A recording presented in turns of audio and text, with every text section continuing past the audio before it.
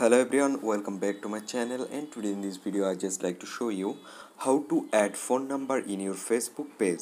So let's begin on it. So firstly you just need to open on your facebook application.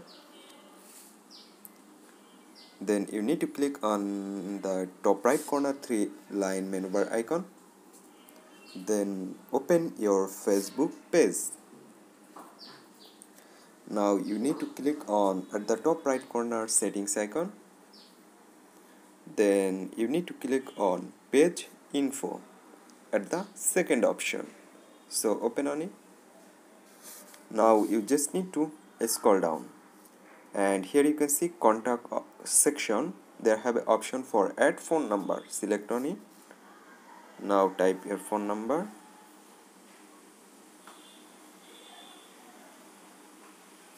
and then click on save. So here you can see I just change. So you can change your uh, code here from here.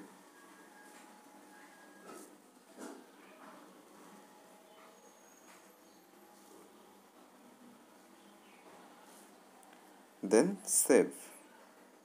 So that's it and in this way you can add phone number in your facebook page. Thank you everyone for watching this video